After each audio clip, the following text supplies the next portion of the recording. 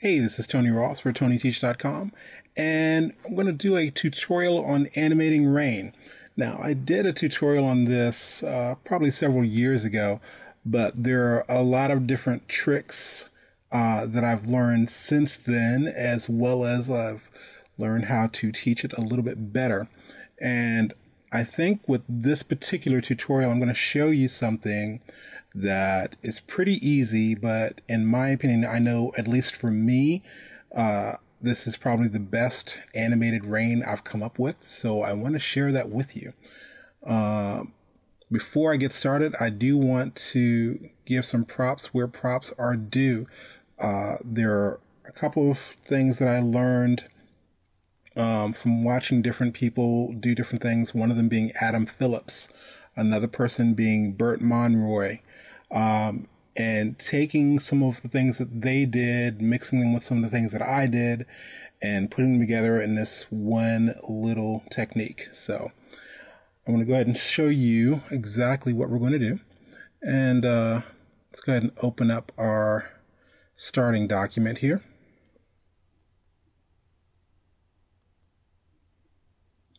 All right, so in Toon Boom Animate, we have just this little city here, nothing spectacular, just a layer for the sky, layer for the city. Now, the actual rain is not going to be built in Toon Boom. It's actually going to be built over in Photoshop. So I'm going to jump over to Photoshop. And because I know I'm working at 720p, that's 1280 by 720, I'm going to create uh, my documents at that size. So let's do a new document, Command N, Control N on PC, and we'll do 1280 by 720. And a transparent background. Okay, now what I want to do is going to get my default colors by simply pressing the letter D and that will give me a black foreground color, white background color. And I'm going to fill my canvas with that. So I'll do simply Option Delete. It's Alt Backspace on PC. Let's go under Filters. I'm going to go to Noise, Add Noise. And I'm going to use about 29% Gaussian and monochromatic. Okay. And the next thing we're going to do is go to Image, Adjustments. I'm going to come down to Threshold. And I'm going to move this about until it's almost like a little star field here. Um, I think that's about good. Because uh, what I'm working on right now, there's actually going to be two different layers of rain. There's going to be the foreground layer, um, what's in front, and that's going to be a little bit larger raindrops and what's going to be in the back. So these are going to be the drops in the back. So I'm going to go ahead and click on OK. And so we have all of these dots, but I don't want the background. I just want the little white dots. So I'm going to click over to channels for a moment, hold down my command key, control on PC, and just click one of the channels. And what that's going to do is it's going to select everything that's not black. Okay, so we've got these like little twinkling stars happening here right now. So we'll go back to our layers. And because our little dots are selected, I'm going to copy these to a new layer. So I'm going to simply do Command J, Control J on PC.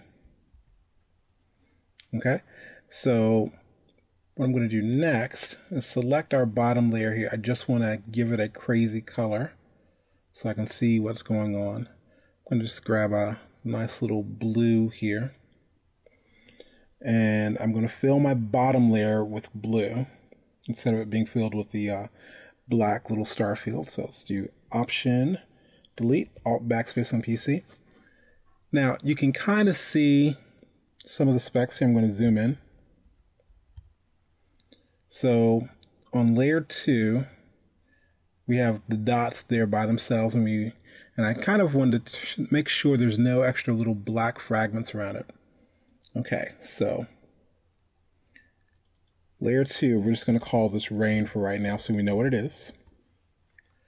And what I want to do on layer 2, let's go to Filter, let's go to Blur, and I want to go to Motion Blur.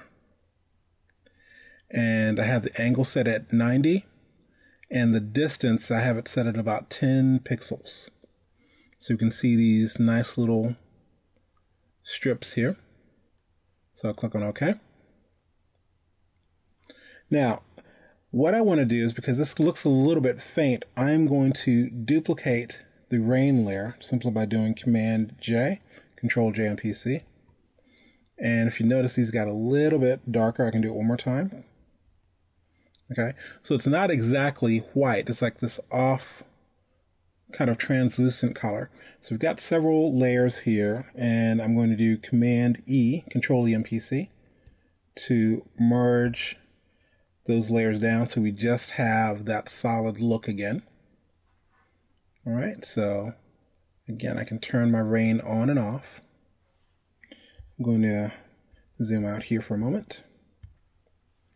Okay, so there are our rain droplets, and I'm going to turn off our bottom layer, and you really can't see anything right now. The reason I have that blue layer there is just so I can see what's going on.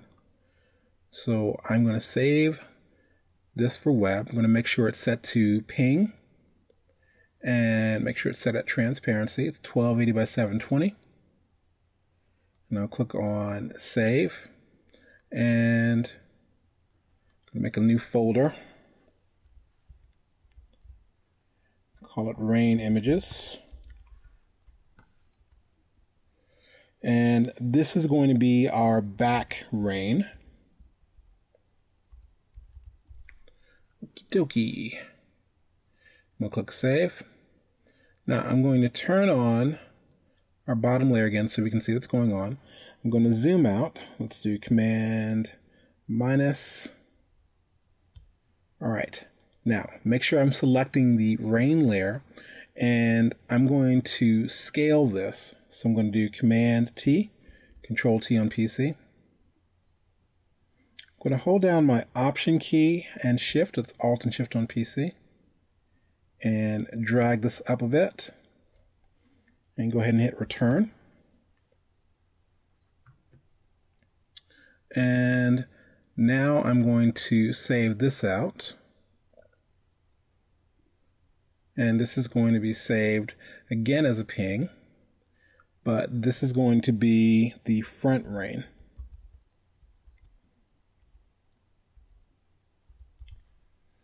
Okay. Now that we have those saved out, we're going to jump back over to animate. And I want to make a new drawing layer. And we're going to import a drawing here. So let's browse and go to our rain images folder. And the first thing I want to import is going to be our back rain. Okay add to the existing layer? Yes. Do we want to vectorize this? No. Uh, pre-multiplied with white. I'm just going to set this to straight for right now. And we'll click OK.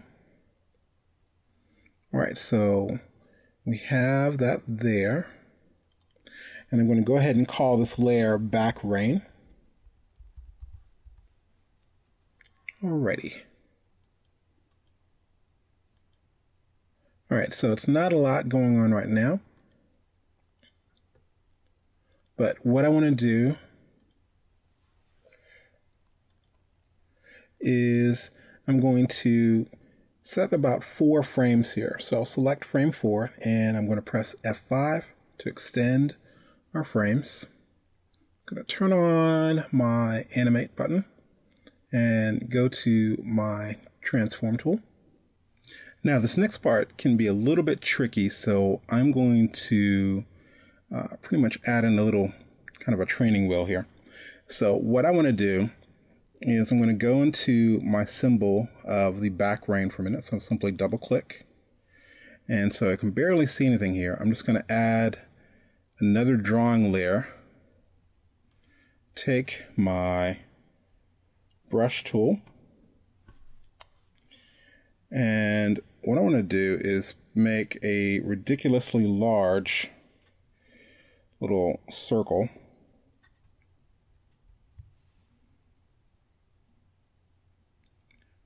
Going to make this right up in the corner here. This is a little mark. And let's go back to the top. Okay. And so we'll select this frame here. So now I can see that little mark there. Let's make sure my transform tool is on. So animate and transform on, let's grab this first frame. And I'm going to insert a keyframe. Let's do F6. And now select the next frame. Drop in another keyframe, F6. Now this is where this little mark is going to come in handy. Uh, the first thing I want to do is click this side and I'm just going to drag this over. So I'm pretty much flipping this for this next frame here. So the first frame are circles on our left. Second frame is on the right. So we'll go to the third frame. Now the other thing I want to show you is you don't have to necessarily press F6 each time, um, especially with the animate button press. I can just go ahead and change what I'm doing here and it'll automatically insert the keyframe for me. So now I'm going to click the top here and drag this down. So I'm flipping it upside down. Okay. So again, this little training marker here, it's got the circles on the left. Then it's on the right. It's on the right bottom. And then the last part, we'll flip this again. And so it's on the left bottom. Now, what I was pretty much doing is making sure that each frame, these lines are in a different place. And it can get a little bit confusing, and I've messed up on this sometimes, so I thought, you know what, let's give ourselves a little, little training wheel here. Make sure all the stuff is still lining up. All right, so now double click go back in to our back rain layer and get rid of that little training wheel there. Go back to the top. All right, so now we have those four frames and now we're ready to make a cycle. And what I want to do is hold on my shift key, select all four of these frames and I'm going to click and drag this straight to the library. Now this says Backrain 2 because we already had our image imported and it's called Backrain. I'm going to change the name of this.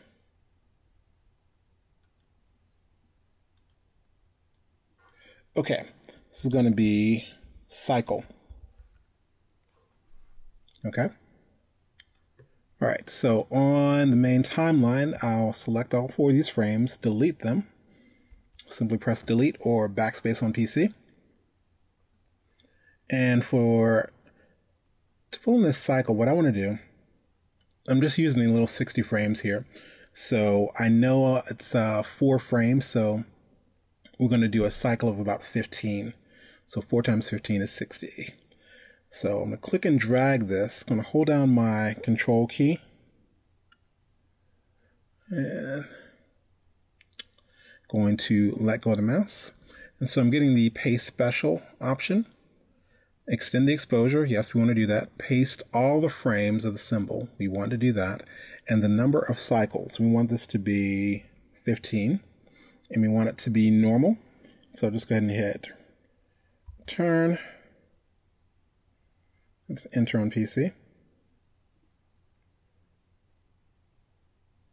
So now that's playing. So I'm going to deselect that for a moment. I'm going to turn on my camera mask just to take a look at this for a minute. And turn off our animate button. I'm going to click on play. I've got my loop turned on.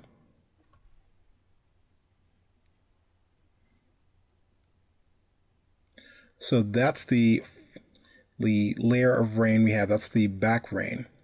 So what I'm going to do next, this is where it gets interesting. Now, this is where um, I used to just make my rain just with this one layer and just do that little random flipping thing.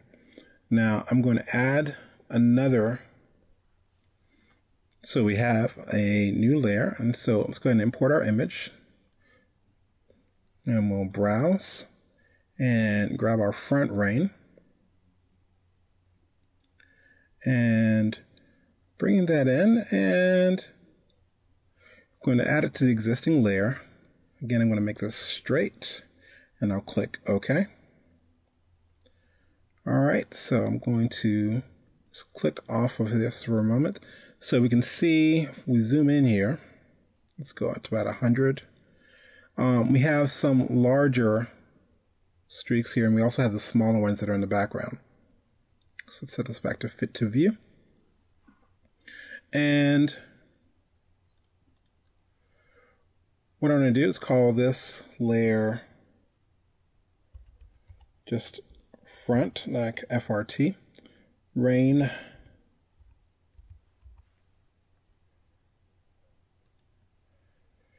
Okay, and we'll extend this all the way out to 60 frames. Let's do F5. And what I'm going to do now is right click on this and we're going to duplicate that selected layer. All right, let's zoom out. I'm going to turn off my camera mask so I can see what's going on. Now, I have my transform tool selected and on this top, with this top rain selected, we've duplicated this, but I want to hold down my shift key and use my arrow keys and I'm going to move this directly above. So it's pretty much the exact same thing, but we're moving it uh, so it's like sitting right on top of this. Okay. Now for the front range cycle, what we're going to do is make sure our animate button is turned on. Select frame one on both of these layers. So going to pull this down so you can see we have this entire thing selected. I'm going to insert a keyframe, F6. And what I want to do right now is I want this to be about 10 frames long. I want the um, cycle to be about 10 frames long. So what I want to do to make sure it's a seamless loop is I'm going to actually go to frame 11. Hold on my shift key. And I want to insert a keyframe, F6. Okay. And I'm going to hold on my spacebar so I can use the move tool here. And now I'm going to hold down my shift key and use my arrow keys. And I'm going to move this down. Let's see, let's zoom in here. Okay, it looks like it's about at the right spot. So I'm looking for exactly where the line the top of my screen is right here. So that looks pretty good. So scrubbing this back and forth, that's looking right. All right, so we did frame 11. Now this is why. I'm now going to select frame 10 on both of my layers. Insert a keyframe, F6. Okay. Now, I'm doing this mainly because it'll make it a lot easier for me if I say I want this to loop six times. I know that that's going to be 60 frames. Okay. So what I'm going to do now is select the rest of these frames. I didn't actually need all of these, just like to have them to be safe. Select all these extra frames, frames 11 through 60 on both layers, and simply press delete or backspace. Okay. Now, I'm going to turn off my animate button. And I'm going to select all 10 frames of both layers, my front rain. And I'm going to click and drag this to my library. And it's FRT rain. Again, just to make sure we don't get crazy with our naming here. Let's rename this. This is going to be our front rain cycle.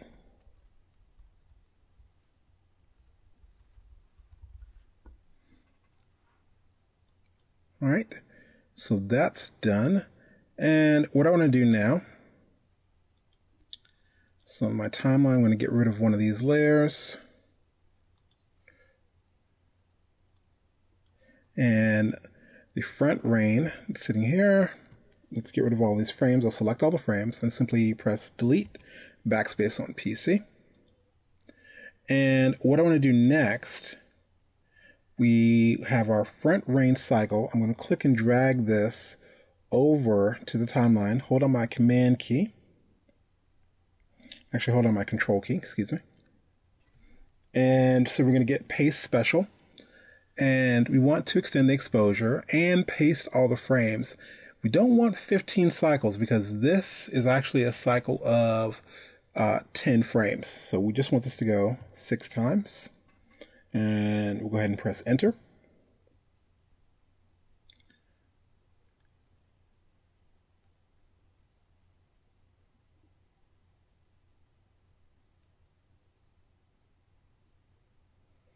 All right, so let's go ahead and double check something right here. That looks good.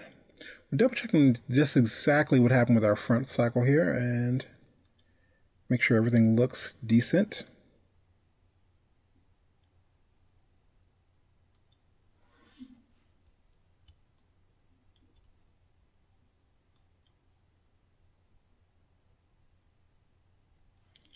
Let's zoom out. Ah, that's what our problem is. Okay.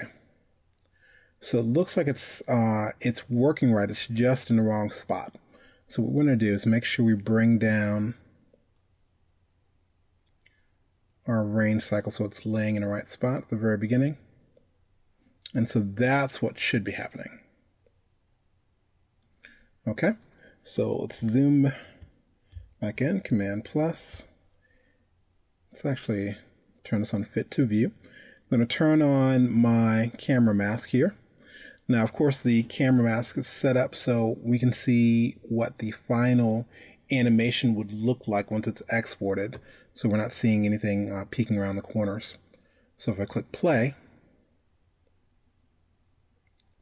we now have our rain set up. So this is a combination of a cycle of four, and that's kind of flipping around the PNG. And then we actually have the scaled up PNG that's scrolling. And by mixing those together, we end up with a pretty decent looking rain that uh, picking out the cycles um, inside of it is a little more difficult. So the only thing missing pretty much is to add in um, our sound effects and we'll probably do another tutorial uh, later on on adding in some raindrops if there's an object in the foreground or if a person's in the foreground and just getting some raindrops off of that. But I wanted to share this with you because I think it's a pretty cool little trick to do. Uh, you can get a little more crazy with it and make your raindrops a little larger, or maybe bring this in and rotate the rain. And once you start doing crazy stuff like that, hey, the sky's the limit. Sorry, the pun about rain, sky. Anyway, this has been Tony Ross for TonyTeach.com. Keep it simple, make it perfect. If you don't have time to make it perfect, rethink the idea. Oh, and by the way, if you do anything with this tutorial, please shoot me a link. I'd love to see what you come up with.